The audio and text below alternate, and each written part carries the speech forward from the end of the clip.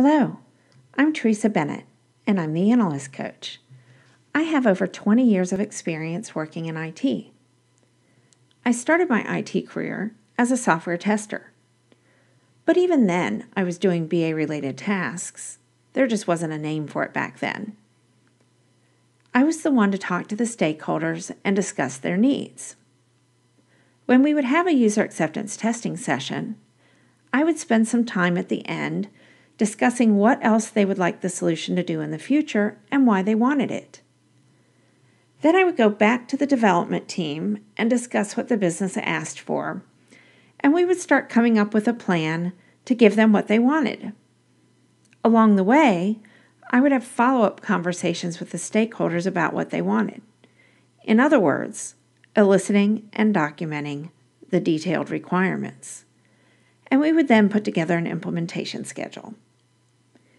So I was, in effect, doing the job of a software tester and a business analyst. Once BA roles became their own position, I moved into that because I felt like it would be a great fit. As a, as a tester, I had been on the receiving end of poor requirements, and I felt like my experience at the end of the software development lifecycle would help me be a stronger BA at the beginning of it. Even though I'm not creative in the traditional sense, I can draw stick figures, but that's about it. I enjoy collaborating with others and helping to define the needs that will ultimately help them achieve their goals. If you enjoy that too, then business analysis may be a great fit for you too.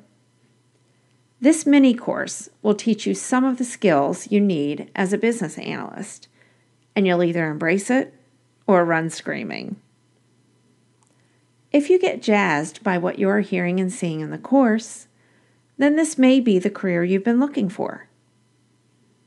If you're already a business analyst, but you're struggling to get it right, or don't feel confident when you walk in a room full of stakeholders, then this course can help you too.